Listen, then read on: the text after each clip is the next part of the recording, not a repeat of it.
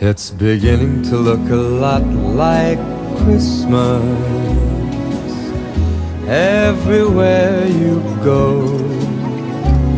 Take a look at the five and ten, it's glistening once again with candy canes and silver lanes that glow.